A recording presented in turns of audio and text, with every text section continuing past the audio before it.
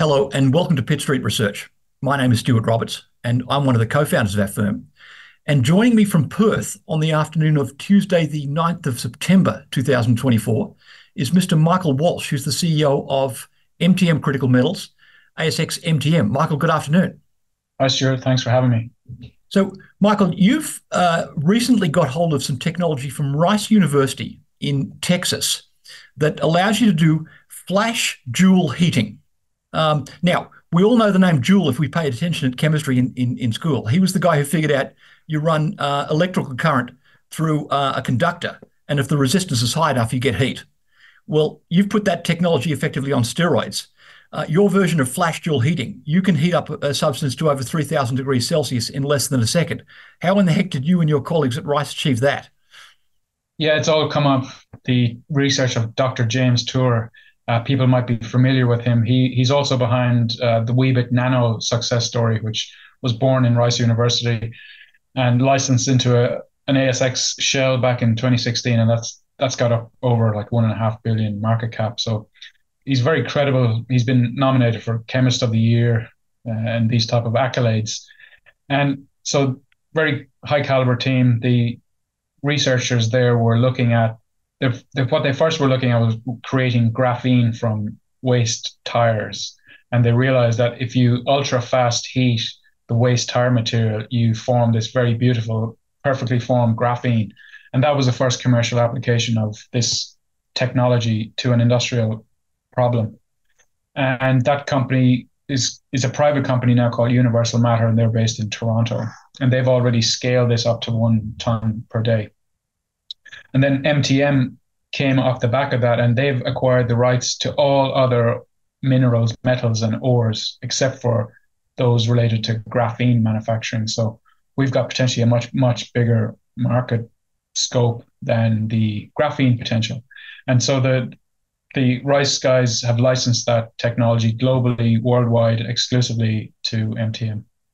And I've looked at some of the uh, the literature that's, that's out there, um, it's a paper from a couple of years ago um, that shows that uh, in an early version of the technology, uh, you could get very good yields of various rare earths and other metals from fly ash of all things, the waste product from um, from burning coal in, in coal-fired power stations. Um, that was then. This is now. Uh, more recently, you've got a technology that's uh, that's been considerably scaled up and has even higher yields than that. Yeah. So the, the original concept was to get waste dumps like coal fly ash or red mud, where like red mud globally, there's there's over a billion tons of red mud sitting in deposits around the world, and there's this is uh, the, a similar waste from bauxite processing. Yes, that red mud is from bauxite processing, and coal fly ash is the stuff that's left over once you combust coal. so it's the stuff that doesn't turn into carbon dioxide and water. Everything else is basically called ash, and that ash will normally contain various metals like rare earths, scandium, gallium, even in, in some instances, um, because it's essentially coal was originally part of some mineral, you know, eons ago. So it, it is possible to recover rare earths out of them. But the issue with coal fly ash is, or red mud is similar, that the the metals that you're after are quite tightly bound and they're refractory. The technical jargon is refractory. And it's not feasible currently by other methods like pyrometallurgy or hydrometallurgy to economically pull out those metals. Whereas Dr. Tour found that if you just flashed it for a few seconds, the refractoriness goes away and you can then pull out the target metals using very benign acids. That was the original proposition. And then um, a couple of months, maybe over a year ago, we started looking at mineral processing. So getting the likes of spodumene, which is the main ore source of lithium globally. We it's right available here in our backyard in West Australia. So we got some spodumene and see the, the initial concept was to see can we compete with the current incumbent steps, which it's called calcination, where you, you basically bake the spodumene concentrate at three hours 1100 degrees in a big rotary kiln. And that the purpose of that is just to allow the spodumene to expand. If you don't do that, you can never pull out the lithium from it, no matter what strength of acid you use. So th- this calcination step is a well-known problem for the lithium industry. It's very CO2 intensive, very the, the flow sheet itself is very reagent intensive. And our original proposition was to see if we can just compete and better that calcination step. And we, we achieved that. We we can do in a few minutes what the current calcination step does in three hours. So there's potentially, you know, over 50% of the energy required saved just for that step. And then we've also made a, a more recent innovation and doing that same flashing or calcining, but doing it in a chlorine atmosphere. And what we found is quite miraculous that you, you form lithium chloride directly from spodumene concentrate. And why is that important? Well, you, you go to a direct saleable product in just one step. And there's then, in theory, just one more step to turn that into a battery grade lithium carbonate. So the current flow sheet is this big, complicated, multi step, high OPEX, high reagent usage, high energy usage, um, very problematic uh, process. And just have to Google what's happened here in the Kemerton project in Western Australia. Uh, it's it's it was over a billion dollars just to build one train of a, of a four train uh, refinery, and they, they mothballed trains two and three and four. They have never achieved nameplate capacity because all of the expertise for that particular flow sheet resides in China, and they had serious issues getting technical people here in Western Australia who knew how to do lithium refining. Uh, so it's a long story short, it's a very convoluted, complicated nasty process. And, and, you've just upended all of that by cu- effectively cutting out half the process from spodumene through to uh, battery grade um, material. Yeah, it's over half actually. If you just do it on a unit operation, it's it's over like eighty percent of the current steps in the flow sheet could be in theory eliminated. Um, and you, you go from spodumene concentrate to a, a direct a product instead of say 50 steps you go in essentially one step Right. So yeah, that's why we're quite excited, and we, we are talking to big industry players to hopefully collaborate at some point. And we can't announce who they are, but we've got lots of interest from big big players in the industry who uh, were quite, I suppose, intrigued by this technology and what we've managed to do. Well, no surprises there. You, we, as we speak, uh, uh, lithium carbonate is changing hands at, at about uh, ten or eleven thousand dollars US a ton. Uh, it and it did it did reach much higher than that in the, the previous lithium frenzy. It, I think lithium hydroxide got over eighty thousand dollars a ton. Right. And I think the market's very volatile because it's it's it's a very I suppose nascent market, and they there's no real futures market that can give you any kind of certainty as to what the the next couple of months pricing is going to be. So it's I think it's it's going to be this boom bust cycle. So there will undoubtedly be another lithium price boom at some point in the in the future, I would imagine. Right. But there's a lot of uneconomic lithium projects out there now that potentially could become economic if if you can dramatically reduce capex and opex, perhaps. Right, and that is just one application of uh, the um, uh, flash Joule heating technology, which has come out of uh, Rice University. We we talked before about extracting, amongst other things, rare earth elements out of uh, fly ash, for example. World's desperate for new sources of uh, of, of uh, rare earths that are not under the control of the of the current Chinese virtual monopoly of the well, not virtual monopoly, but close enough to it, uh, yeah. a, a, dominance, shall we say, of the of the uh, rare, rare, earth space. Um, uh, there's there's a, a, whole lot of other metals, uh, such as uh, uh, nickel and cobalt, that we can extract from various waste sources as well. So the the opportunities are legion. Um, what's the opportunity for you in terms of now that we, are up, we're, we're producing uh, at uh, uh, kilograms of the stuff through the pilot plants. And we've talked about a one ton a day uh, uh, pilot for the graphene opportunity, which another company is working on. How long until we have a one ton per day pilot plant at MTM working on, on the technology you've licensed? So the, the current schedule is our engineering partner, KnightHawk. They're they're based in Texas. They're a well-established engineering company. Their mandate is to give us a finalized design by the end of this year with hopefully then allowing us to start construction in Q1 next year and essentially be up and running by the end of Q2 next year. So that's commissioning completed, and we're actually processing material by the end of Q2. That's uh, quite an optimistic and aggressive schedule, but that that's our current ambitions. Right. So um, this technology has pretty much gone from um, um, uh, ground zero in, in 2020 to the point where we're talking about a seriously sta- uh, scaled uh, uh, uh pilot plant. Um, what are the commercials like? Uh, let's say a, a, mining company comes along and says, "We've got uh, this this spodumene deposit and we want to process it uh, cheaply." How did the economics work?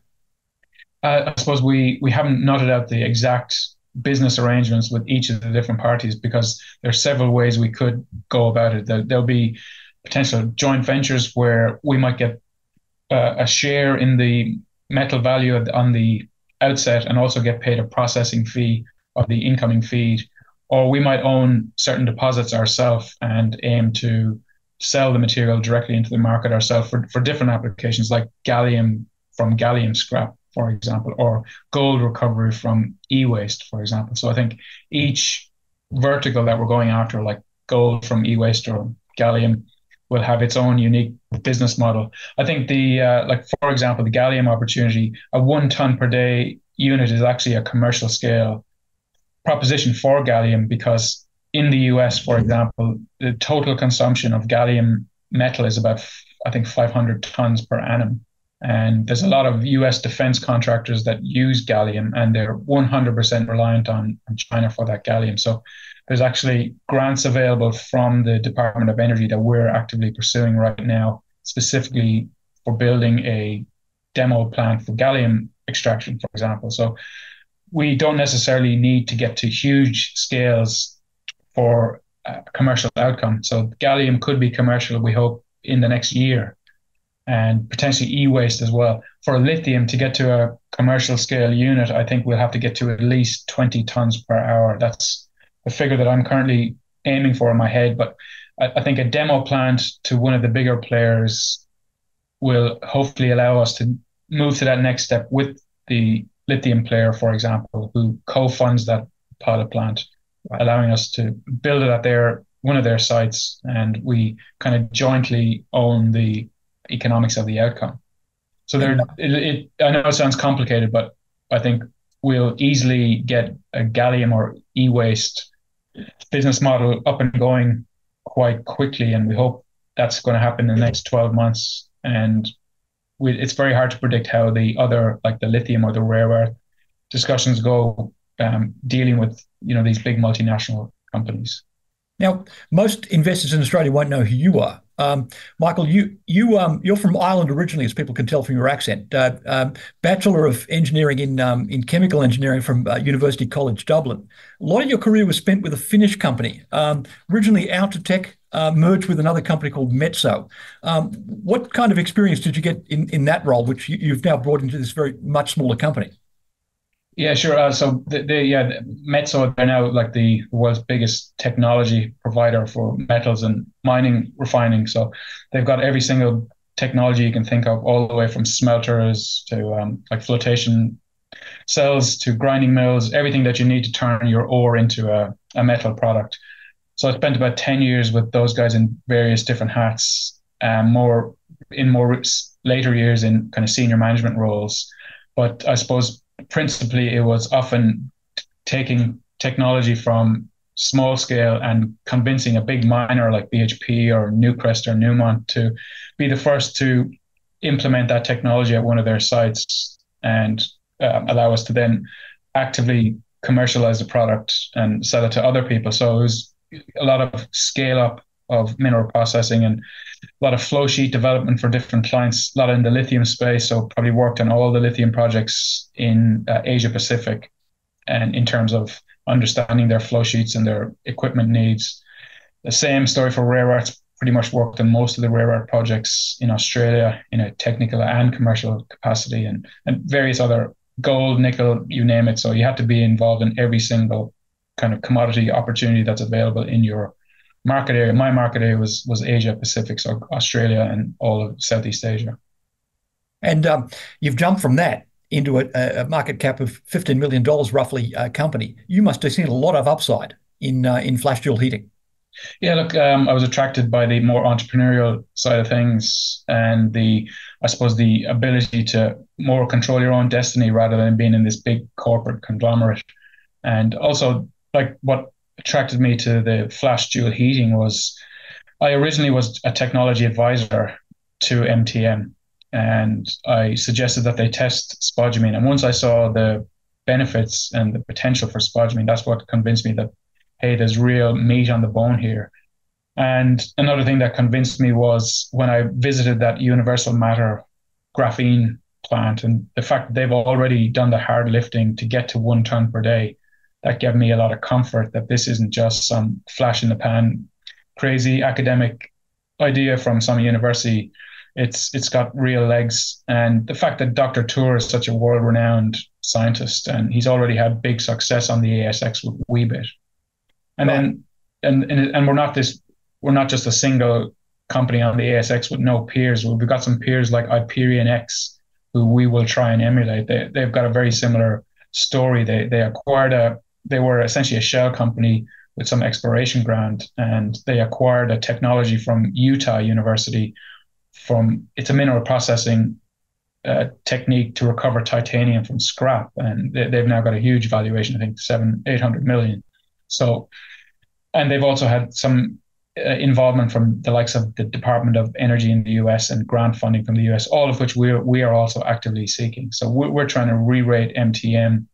And given the quick success we've had with lithium and the interest we've had from the bigger players, I think uh, yeah, it was a wise decision to, to leave the, the big corporate world of um, where I was and, and get something more entrepreneurially going like this. But look, I've, I've dealt all the players that we're engaging with to date all these big names that we're trying to collaborate with. Um, I've had to deal with them all in a previous life, so I know exactly how they how they, those beasts tend to operate, and I think we can definitely get a lot of action going with with several of, the, of them. Right. Well, Michael Walshe, well done on what you've achieved in the very short time you've been at, at, at MTM. We're starting to get some pretty good um, uh, uh, data uh, coming out of the laboratory, soon to come out of the, uh, the, the, the pilot plant. And a year from now, possibly we're, we're talking about uh, significant scale up again. So keep up the good work. Thanks very much. Thank you for talking to Pitt Street Research. Thanks, Stuart.